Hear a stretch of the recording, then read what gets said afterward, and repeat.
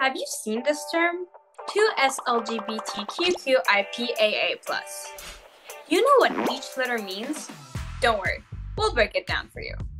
This is KN Explains 2SLGBTQQIPAA+. First of all, you may see different versions of this term. It all depends on who's using it and why. It's called an hmm? initialism. Heard of an acronym? Those are abbreviations that create new words, like how as soon as possible turns into ASAP, or how the US National Aeronautics and Space Administration turns into NASA. For an initialism, instead, we pronounce each letter separately. So we wouldn't pronounce this, you know what I mean. OK2BME provides support and education on 2SLGBTQIPAA plus issues for kids, teens, and adults across the Waterloo region of Ontario. They help us break down what each letter means.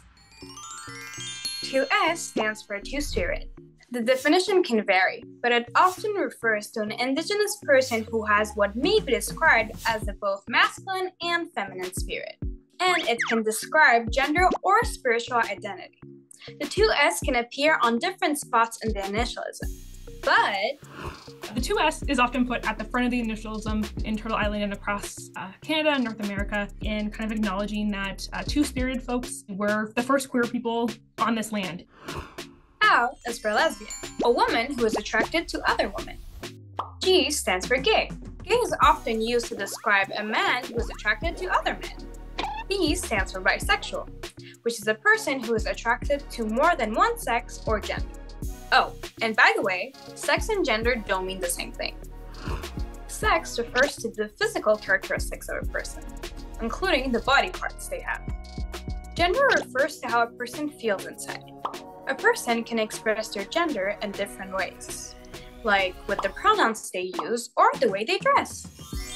T stands for transgender, it describes people whose gender identity doesn't match with the sex they were assigned at birth. Q stands for queer.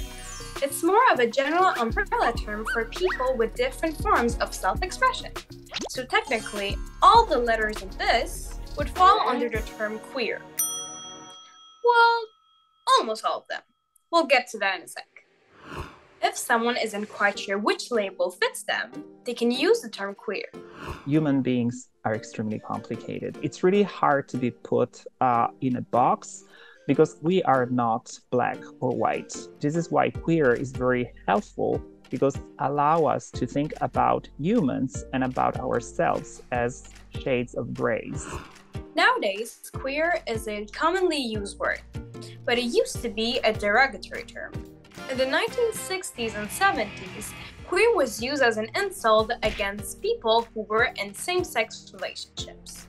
There's been a really strong reclamation of the words and, and really just kind of like taking that, uh, that language that was used that was meant to be um, harmful or hurtful and kind of just taking power over it and saying, like, nope, this is actually a, a powerful word for us. The second Q stands for questioning.